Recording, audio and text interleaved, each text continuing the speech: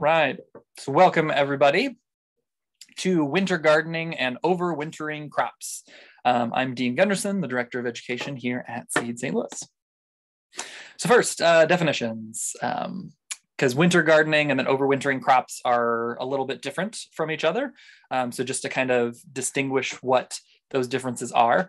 Um, so, with winter gardening, that is where um, you're planting crops in the fall in order to harvest them in the winter. So that's what I mean when we're talking about winter crops. So it's very similar to fall gardening, but uh, you generally need greater frost protection and a few changes in, in crops. There's some crops that do better as winter gardening or a little bit harder to do as winter gardening um, than fall. But if you came to the fall gardening class, um, there's going to be a little bit of overlap here at the beginning because it's a lot, there's a lot of similarities. Um, and then overwintering crops is a bit different. So overwintering crops are plants that you are planting in the fall, usually pretty late fall, like mid-October.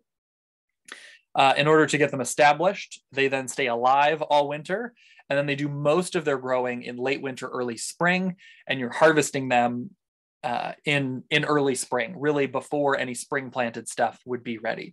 So it's stuff that you're planting in the fall in order to harvest in the early spring when you normally wouldn't have anything in the garden. So that's what overwintering crops are. Um, and this is the gardening season that is changing the fastest and is having kind of the most um, uh, most new things that are possible to grow, um, or maybe things that uh, you you haven't considered before um, because our winters are getting significantly warmer uh, and so there are more things like um, overwintering brassicas which we're going to talk about which traditionally only grew in places like England and the Pacific Northwest that we've actually had pretty good luck growing in the city the last couple years. Um, so winter gardening i'm going to go into at the end um, and that's one that is that is changing and we're kind of experimenting with new things every year in hopes of finding new crops to grow in that in that window so why you know like um, if you talk to a lot of like uh, like vegetable farmers and stuff, they are not interested in winter gardening because they are tired. And a lot of gardeners are tired in the winter. And so one of the questions is like, why would you want to do this? Like, why would you want to be gardening in the winter. Um, and there's a couple reasons. So one is that the fall and kind of early winter here is really a much more predictable cool season than the spring is in St. Louis. You know, our springs can be very erratic. Like this spring, um, it was it was really warm in early spring, and then it got really cool um, and stayed cool into like, you know, almost the end of May, at which point it was 95 degrees. Um, and that's, you know, and that's weird. And then there's other times where it'll be cool. And then in mid-April, it'll get really hot. And it's just hard to know, which can make it hard to know exactly what spring crop is going to do well. Whereas in the fall, it's it's a little bit more predictable. You know, you know it's going to be hot, it's going to cool down at some point, and then it's usually going to stay pretty cool. Um, once you get into the fall, early winter. And then the same with these overwintering crops. We don't necessarily know how cold it's going to get, but we know it's going to be cool. It's not going to be 95 degrees in January, or at least I sure hope that's not going to start happening. Um, and so, and so it just makes it a little bit more predictable. also, if like the the taste difference between things that you're growing like in the spring versus in the fall winter, uh, they actually the fall winter ones tend to be a little sweeter because the the freeze kind of the froths that you get um, as they're maturing actually breaks down some of the starches and turns them into sugars. And so they're they're like literally sweeter um, which is nice. Versus in the spring you know if we get an unpredictably warm spell they get bitter and tough. Versus in the fall if we get an unpredictably cold spell they become sweet and tender. And i'll take sweet and tender over tough and bitter any day.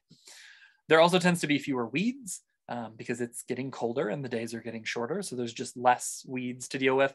There's also fewer pests. Um, and this is particularly the case with overwintering crops, way fewer weeds, way fewer pests.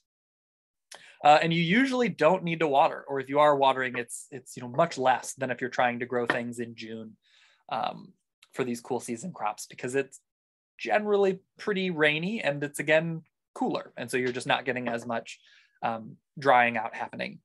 Uh, and then the big one is just you can get food from your garden when it's really hard to get local produce. Um, you know, like like there's there's not that many farmers markets in January and February that you can get vegetables at, um, but you can grow them in your garden. which is what we're going to talk about. So first, um, and this is again, if you've come to our fall gardening class, you've seen this chart, um, but kind of defining what cold is. So, um, you know, especially when we're wanting to harvest things in the winter, kind of knowing a little bit more about cold and frosts is, is pretty important. So first is frost danger. So um, a lot of you have probably heard, you know, people talk about like the first frost date in the fall. Uh, and that's usually given as like a date of like, oh, the first frost date is October 15th or whatever. And, you know, a lot of times we think like, oh, that means there's going to be a frost like then, but that's not actually what that means because weather isn't predictable in that way.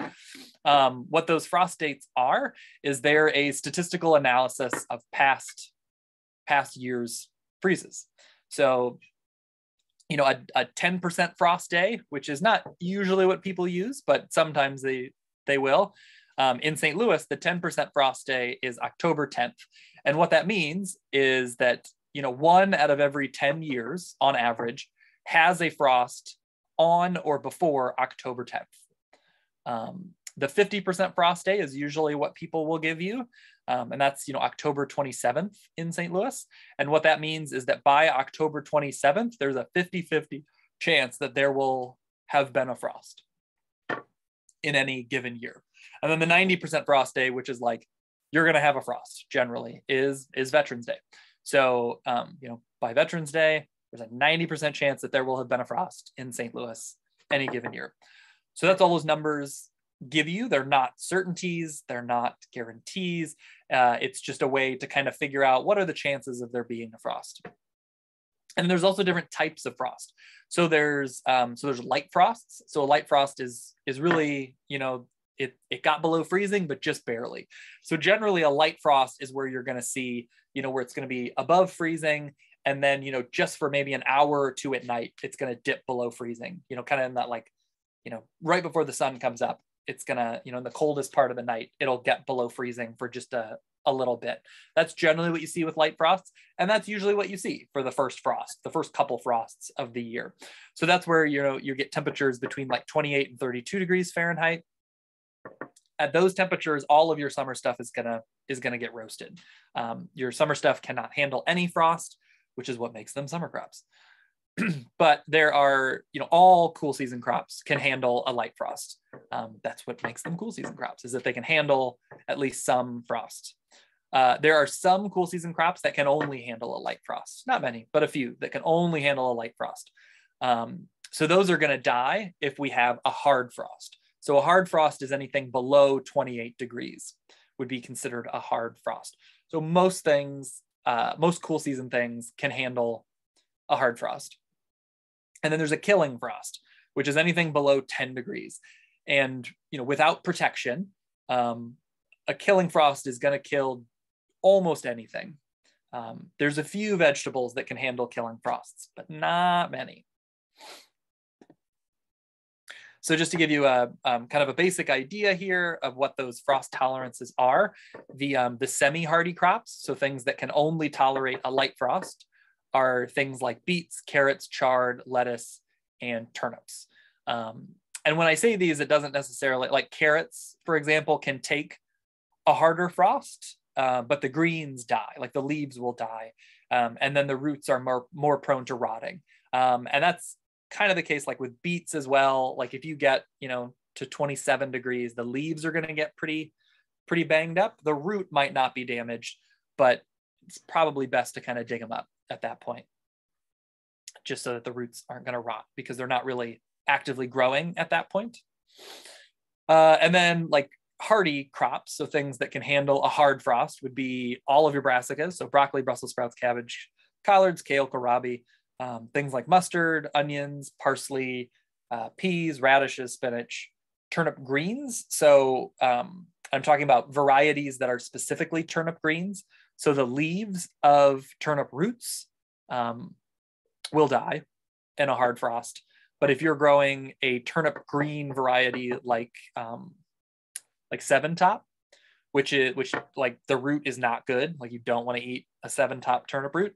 Um, those leaves are particularly cold hardy, like one of the most cold hardy crops that you can grow. Um, it's just weird that they are that much difference in hardiness, but they are. Uh, and then mâche, which is a crop that most people haven't heard of, but I'll talk about it a little bit later. And then arugula.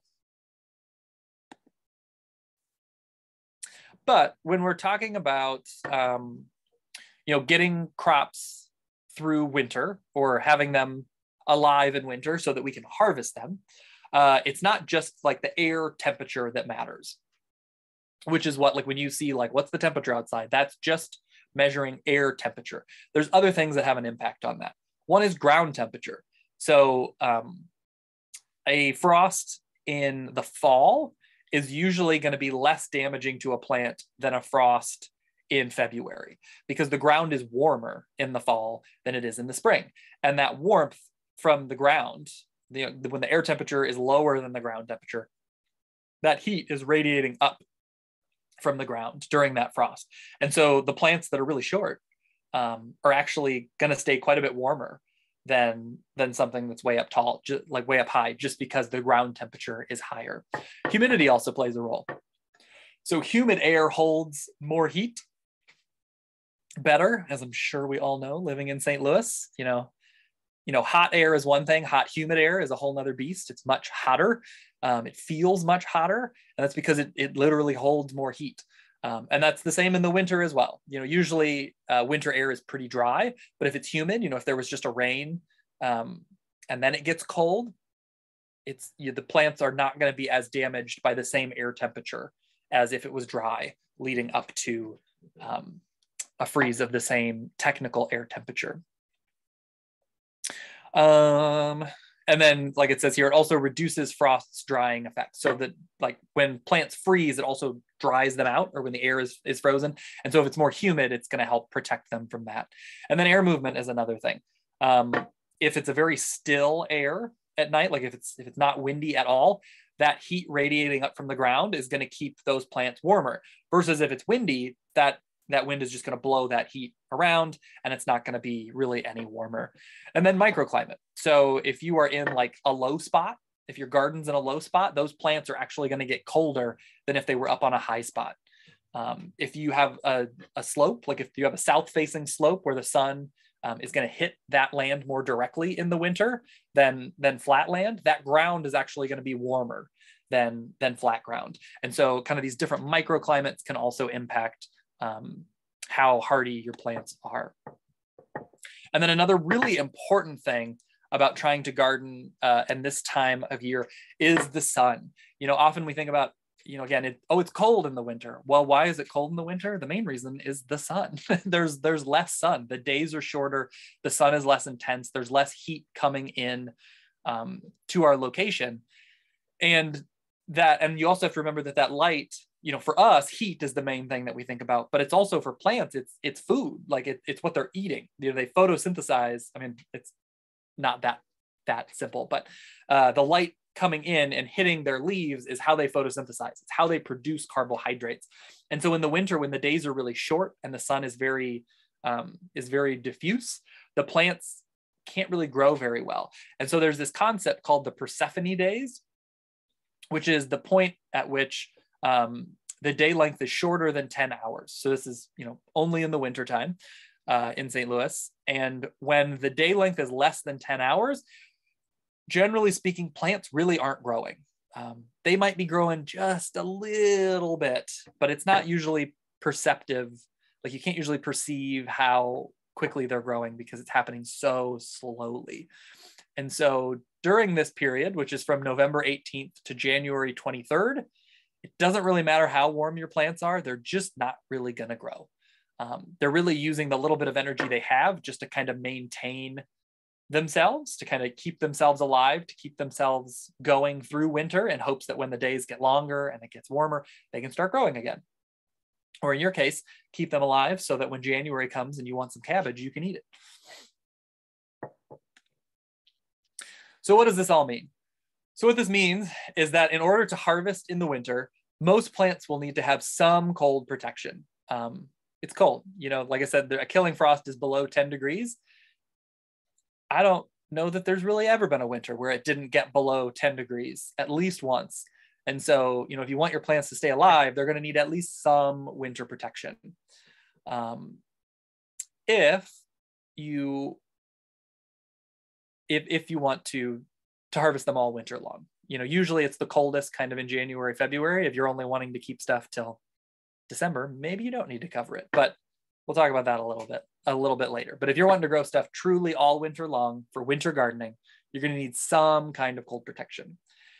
And then also because of the light issue, the Persephone day kind of concept, plants will have to be grown before winter comes in order to have your crops mature and ready to go to harvest in the winter.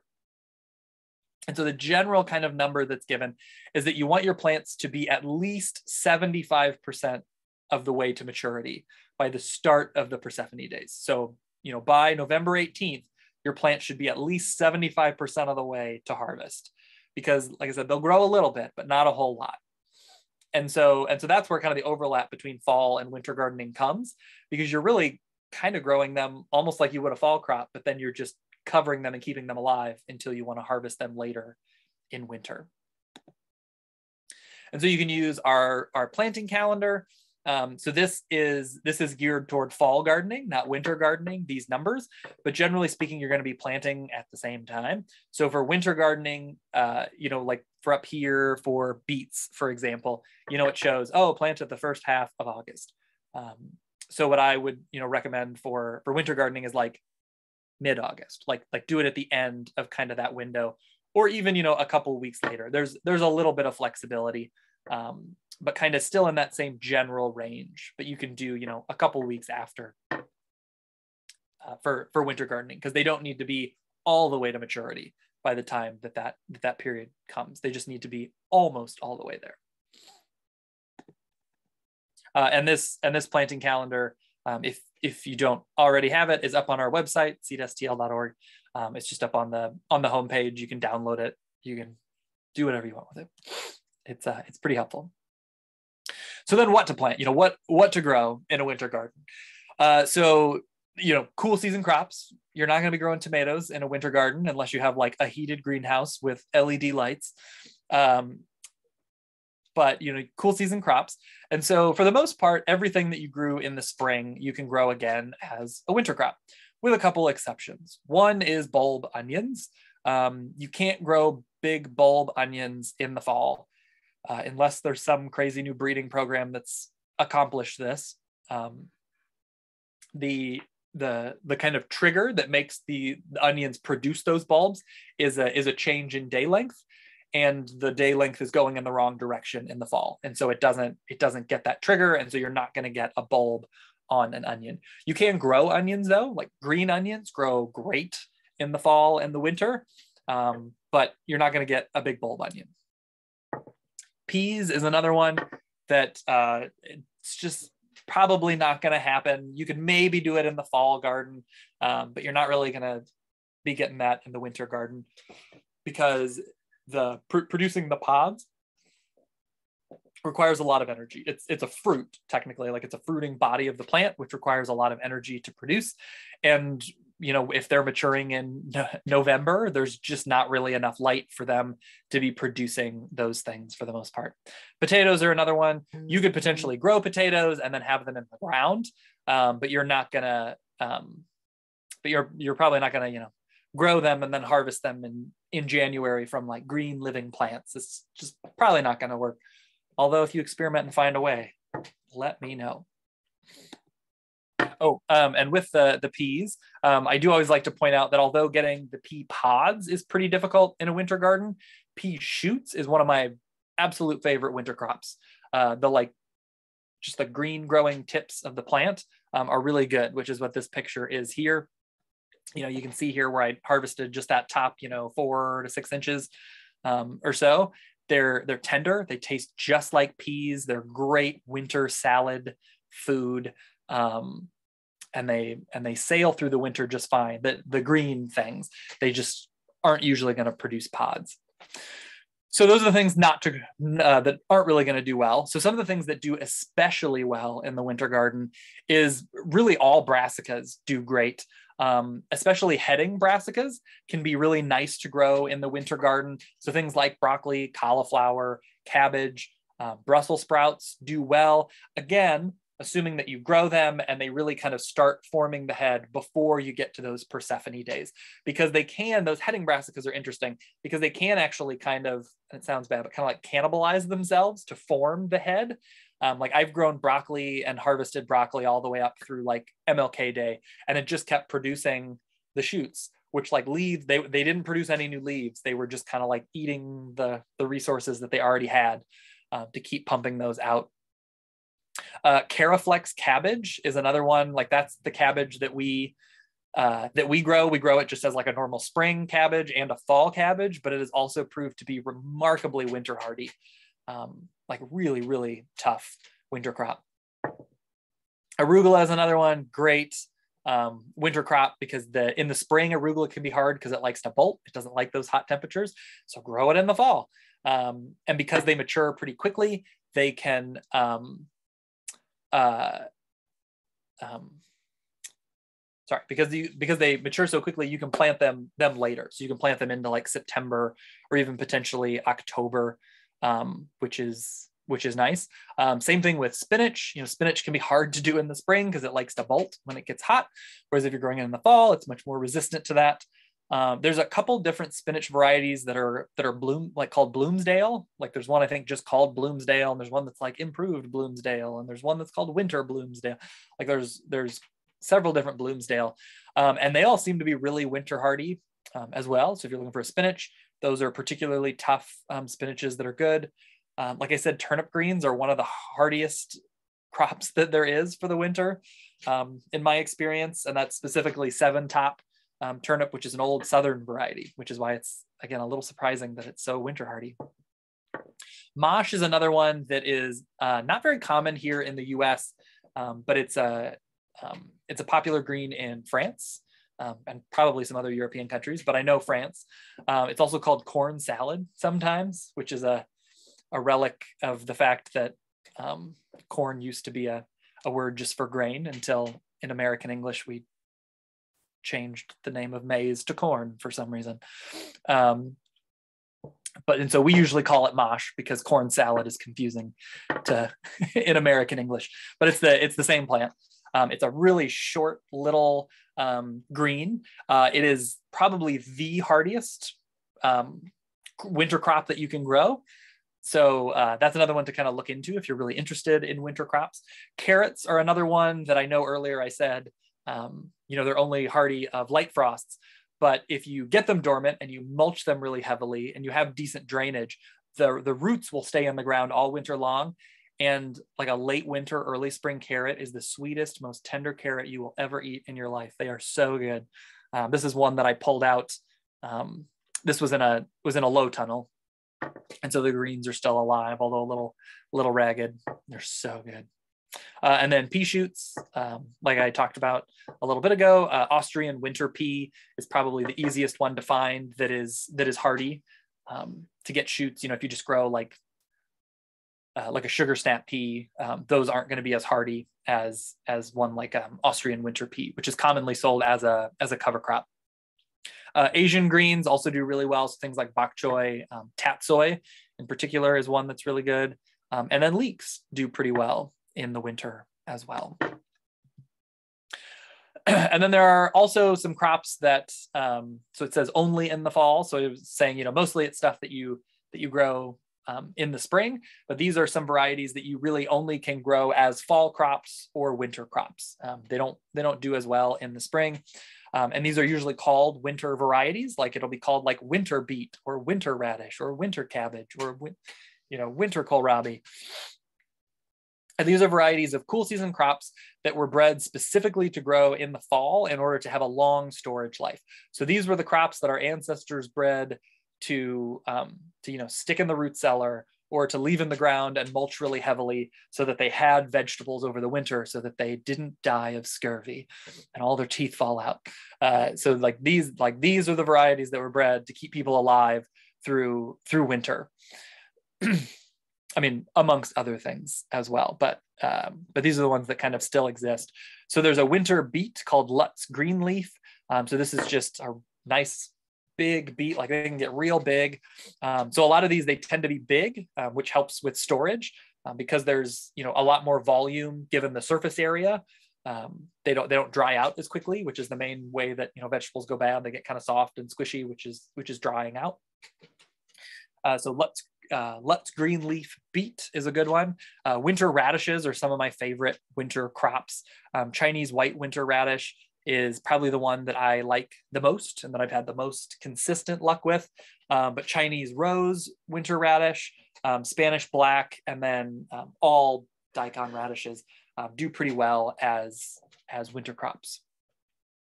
There's also some cabbages. So these winter cabbages are like true winter crops and that they were bred to, to grow to maturity and then just sit in the ground in the winter so that you can harvest them all winter long. So like January King is called that because you harvested in January. That was what it was bred to do. Uh, there's also one called Winter King Savoy. Um, uh, there's one called Ormskirk and there's one called Deadon Savoy. Um, and all four of those have done pretty well for us as, as winter cabbages. They hold really well in the garden over, um, over the winter.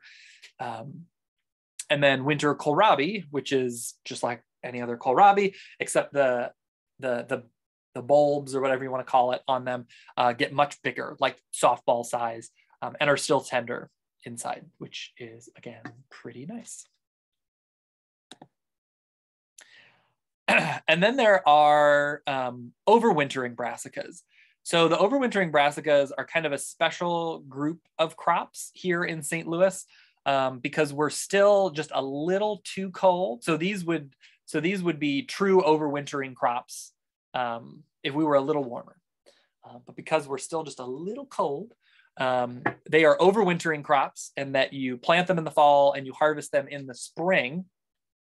So not like the winter crops that we've just talked about, but that um, you know you're not harvesting in the winter, you're harvesting in them in the spring. But they do still need some protection over the winter because we're just a little too cold for them. But with a little bit of protection, like you would with your winter crops, you'll get these um, these crops in order to harvest them in April, months before you'd be able to harvest them if you planted them in the spring. so you plant them at the same time as your winter brassicas. So if you're wanting to grow, you know, your winter cabbage that um, you want to harvest in January, you're going to be planting these uh, these winter bra- these overwintering brassicas like sprouting broccoli and winter cauliflower at the same time, but they are going to produce uh, produce later on. So sprouting broccoli produces a large amount of little broccolini. So this is a picture um, of one right here that we grew. So you see, you know, it's not a big broccoli head; it's a lot of smaller heads um, that you'll get, but you're getting them in like mid-April all the way into May, which is again really early. Like usually you'd you'd be planting like seedlings of broccoli in late March, you know. So um, so getting you know mature broccolis in like mid-April is really really early.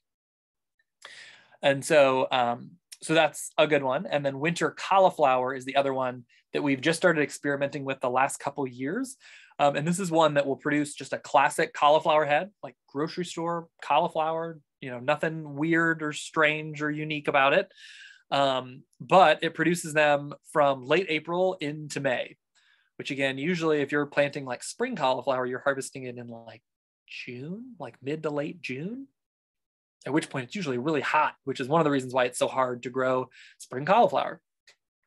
But it's a great way to get cauliflower. And these are also really nice because this is a time of year where even if you have stuff in the garden, it's, it's greens for the most part. And so you can get these, you know, pretty more, you know, like substantial vegetables um, really early in the year, which which can be very nice. So cold protection. So like I said, all of those winter crops and then the overwintering brassicas are going to need cold protection. But um, it depends on what you are growing and how late you want crops um, will determine kind of what level of crop of, of cold protection that you need to give your crops.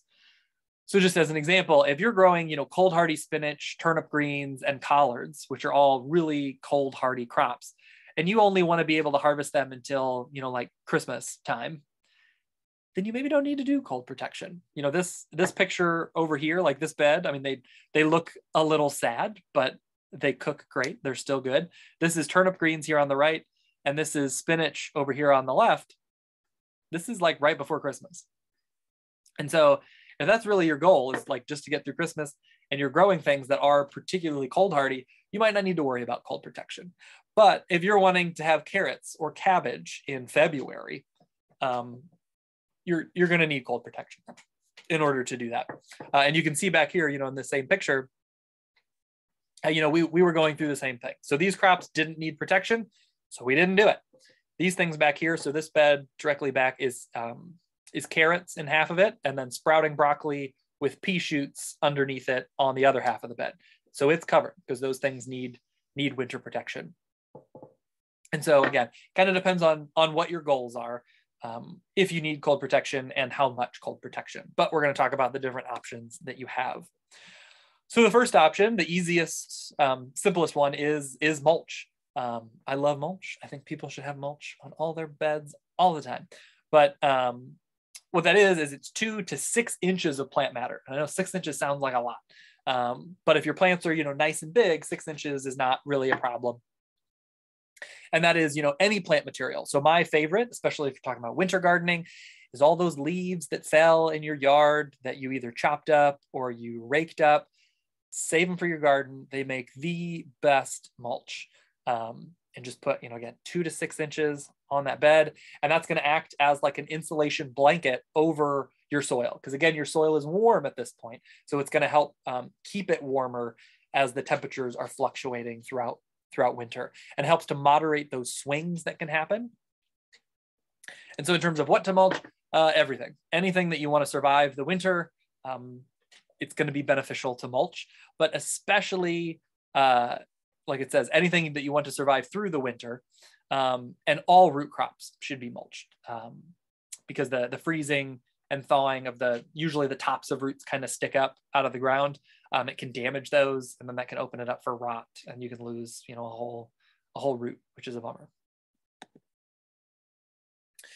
So, so mulch is great, um, but especially if you're wanting things to again survive all winter in your winter gardening, uh, you're going to want something over top to kind of hold in the heat, similar to what a greenhouse does.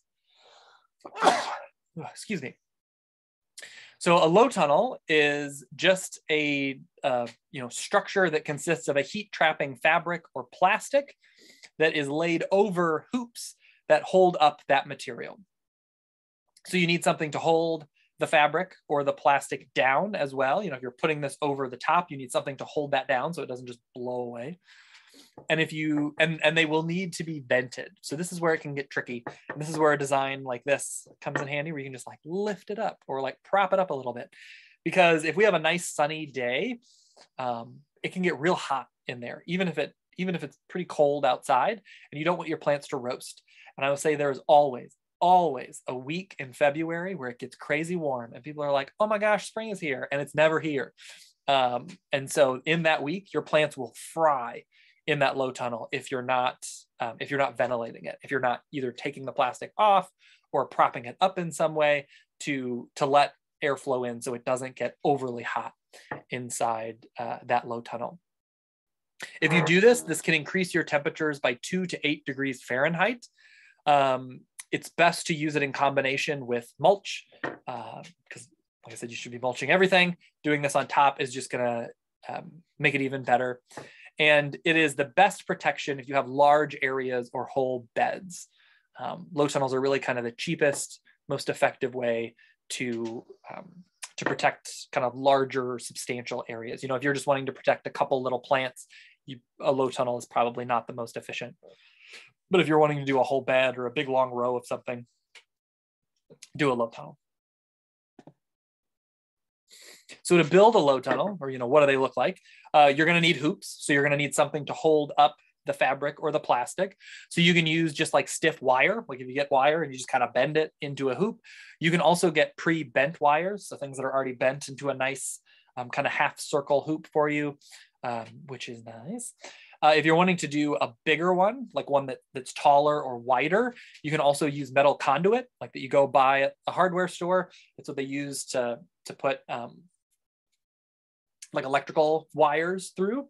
Uh, and you can get like a pipe bender, um, or if you know somebody who has a pipe bender, and you can bend it into whatever shape you want so that you can make a really tall low tunnel, which for winter gardening can be really nice because generally again, if you're growing your plants all the way to maturity, they might be kind of tall for some of these shorter um, kind of low tunnels that are more common. Uh, so metal conduit can be nice, uh, or you can use half inch PVC pipe, which is much cheaper um, and it just you know bends on its own. It doesn't last as long as a metal conduit or uh, or a wire, um, but they can be can be nice, and that's you know what you see in this picture over here on the right. You will then also need um, the material to cover, you know, to, to put over the hoops. Like the, the material is the whole point. So there's stuff that's called row cover. It's also called frost blanket, which is like a, a woven or not woven. It's like a, a spun kind of synthetic material that looks uh, a lot like a dryer sheet in its in its consistency. and then there's also plastic. So, you know, just like a greenhouse type plastic. Uh, there's plastic like this in this picture. So this is the type of plastic that we use that has, you can, it's kind of hard to see on here, but those little dots, those are holes, like pre-punched holes in the plastic. Uh, and what's nice about that is that that means that you do not have to vent it because that those holes um, ventilate it enough for you on those hot days. So it's nice if you have a garden that that's not, especially if it's not like in your backyard and it's, you know, a little more difficult for you to to go out in the morning and open it up and close it at night if it's a sunny day. And then, like I said, you're going to need something to secure that material down to actually like hold it in place over those hoops. So you can get sod staples, which are just like little kind of U-shaped um, wires that you just push into the ground through the edge of the plastic to hold it down. You can also just weight it down with things like brick or rock or lumber. You know, you've got a big long side. You can just put like a two by four along the edge of the plastic on the ground to hold it down. Um, just anything that will hold it in place is fine. And I always also like to point out that you can do extra insulation. So, you know, if you, you know, have plastic over this, um, you you can add more. Like you don't need to just do one layer. Um, if it's something that's really fragile, or if all you can find is row cover, but the row cover isn't going to provide enough protection for what you want to do, do two layers of row cover. Um, and and doing two actually does give you more protection because it creates you know a little air pocket between those two layers and that air pocket is insulation. That's really all insulation is it's just isolated air pockets. You know it's why like coats that are warm tend to be kind of fluffy. It's because the, that fluffiness is the insulation. It's all those air pockets in there that that gives you the insulation. Um, or like you know when you insulate a house it's like spray foam is like the you know really expensive best stuff. Well it's foam because the foam has air bubbles in it that are that are sealed in place. And so it acts as insulation. It's actually the those air pockets that act as insulation. So if you do two layers or three layers or if you do a layer of row cover and a layer of plastic on top of it um, that that's going to add to the heat protection. Um, and I like to point out, you know, it's kind of the difference between row cover and plastic and how they can kind of work together in some instances is that plastic allows more heat in because it's because it's clear. So all the, you know, infrared radiation can come in um, and, and produce heat in that space. And then it's trapped because usually the plastic is um, is solid. You know, if you have the vent holes, it's going to let some of the heat out. But if it's solid, you know, the heat can't get back out. The light comes in, it changes, and it can't, it doesn't have enough wavelength to really come back out of that plastic. And so it traps it. That's the greenhouse effect.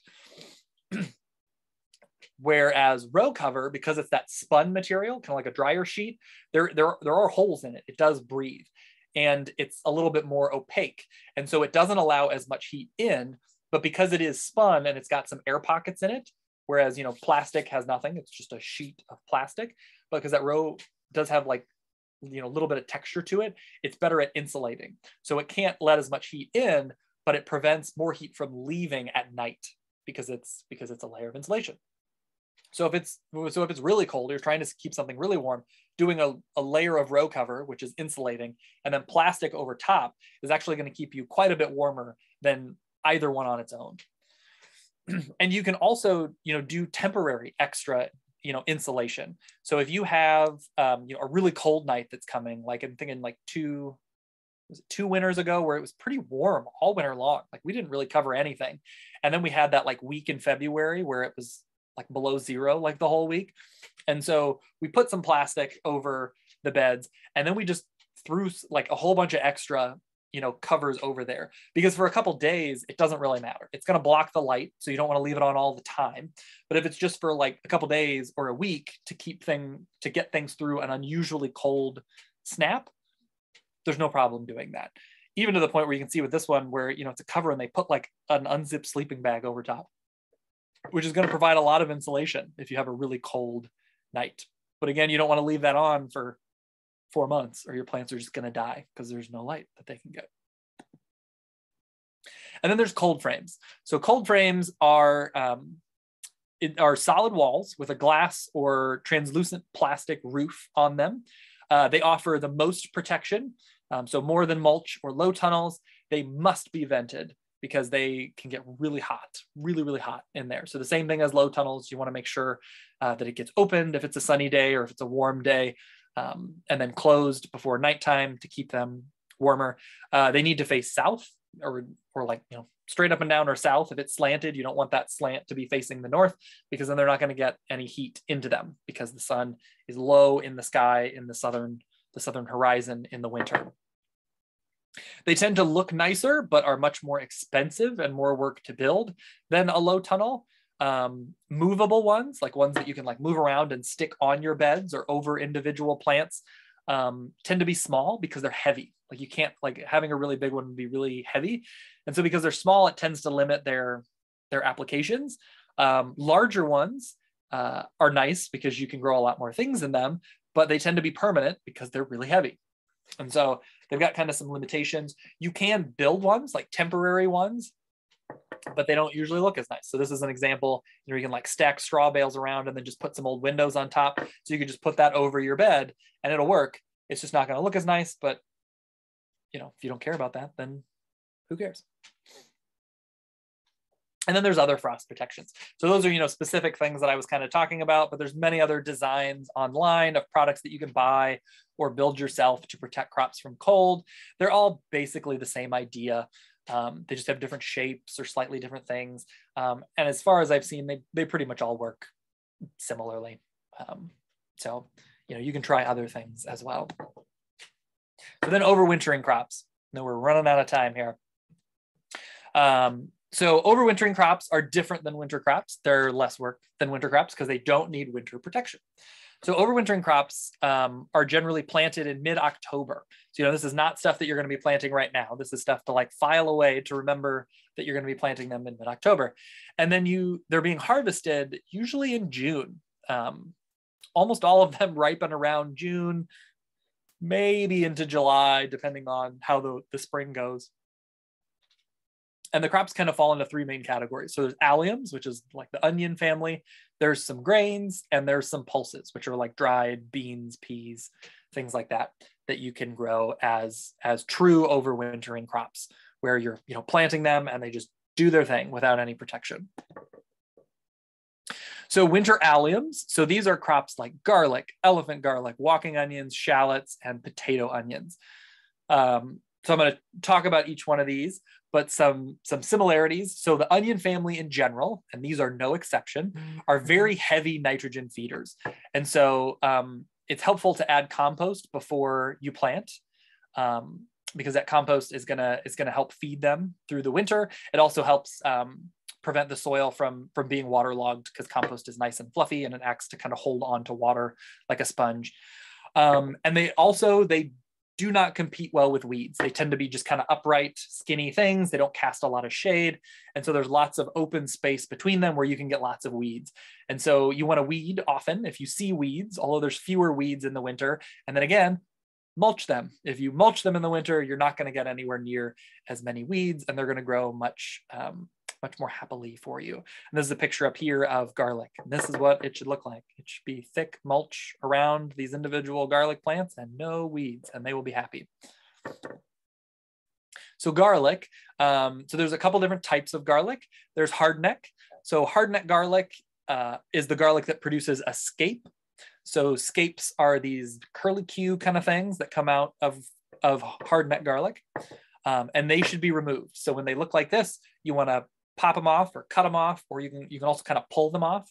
Um, I think we did a little video on our social media somewhere that you can find showing kind of the benefit of pulling them as opposed to cutting them. but do it however you want. But removing it, they, there's been studies on like big commercial farms that have found that removing the scapes can actually increase your yield by 25 to 30% because the energy is instead going to the bulb. Um, in, instead of going to the scape, it's going to the bulb. Hardneck garlic, usually like if you cut it you know, horizontally across the bulb, you're going to see this like woody stem in the middle. That's the scape coming up from the very base of the plant. And then there'll be one ring of cloves around it. Soft neck garlic um, does not produce a scape. Um, and so if you like braided garlic, it's much easier to do because the stems are, are nice and soft. The neck is soft, hence soft neck and they you know so they do not have this center thing there and they tend to have two or more rings of cloves. There tends to be a lot more cloves in terms of numbers but the cloves tend to be smaller. So like the, the bulbs are about the same size between hard neck and soft neck. The cloves are just different size. And then there's elephant garlic. So elephant garlic is actually not a garlic. Um, Oh, and I did like to, to, point out too that soft neck garlic is milder in flavor. Uh, hard garlic is a really pungent garlic. So if you really like garlic, flavor, grow hardneck garlic. Um, if you like the garlic that you like buy at the grocery store, buy soft neck garlic because that's what they sell at the grocery store. Um, elephant garlic is actually not a garlic, but is actually a subspecies of leek. Uh, it, but it produces a scape like hardneck garlic, but that scape tends to get tough very quickly. And so it's usually not as good flavored as scapes. So like hardneck garlic scapes you can eat and they're really, really good. Um, but you but you should still break off the scape of elephant garlic um, unless you really want the flowers. The flowers are gorgeous. That's what these pictures down here are. If you want the flowers, let them flower. and the bulbs, the reason why they're called elephant garlic is that the bulbs on them can get absolutely enormous, uh, but it's a very mild garlic. Like you can almost use it more as like a vegetable than a spice because they're very, very mild, but it does have a garlicky flavor, just like hardneck or softneck garlic would. I also like to point out too that you don't have to wait for the bulb to mature all the way. You can also harvest what's called like green garlic, um, which is you know in the spring before they're ready to be harvested for the bulb. If you just pull it out, the it, it, it's kind of like the equivalent of like a green onion, um, except it'll be a green leek, and you can chop it up and eat the whole thing, and it's going to taste garlicky, just like a green onion tastes like a bulb onion. And then with um, elephant garlic, because it is a leek, you can also grow it as a perennial leek. Like instead of digging it out, if you cut the greens off, you got a leek, and then you let it grow back and kind of do its thing. Um, and it's a pretty nice way to get um, to get leeks. so all three of these, you're gonna the, they have the same signals of when to harvest. So when the bottom two leaves are dead, like they turn brown and shrivel up, and kind of that third one is starting is like turning yellow, that's when you want to dig it up and you dig the whole thing up. So then there's shallots and potato onions. So these are very similar to each other and grow exactly the same. Like when to plant, when to harvest, all those things are the same. The main difference is the shape of the bulb uh, and the taste. So the shape of shallots is, you know, if you've seen shallots, you know, it's kind of like more of a teardrop shape or a little bit more elongated. Um, whereas a potato onion it just looks like a little onion. It, you know, looks it's got that much more round shape of a classic onion. Potato onions taste like onions. They're a little bit more um, they're more pungent than a than a standard onion, but they but they have that same onion taste. Whereas shallots have a more unique um, flavor to them. For both of these, you harvest when the tops flop over. Um, so you can see in this picture here where they're kind of flopping on the ground. Um, so the leaves are not all brown. You don't want to wait for that, especially with shallots. Um, if you wait till everything is totally brown and dead with shallots, the shallots have probably rotted in the ground. They're very sensitive to rot. Um, so when they when they flop over on the ground, um, and and you'll you'll tell because like if you take it, you know, you try and like stand it up, it's just like flexible. It's like there's a hinge on it. So that's when you know it's time to harvest for both the potato onions and the shallots. So the harvesting um, process and then curing, which is how you you kind of dry them and get them ready for storage, is the same for hardneck, softneck, and elephant garlic, and shallots and potato onions.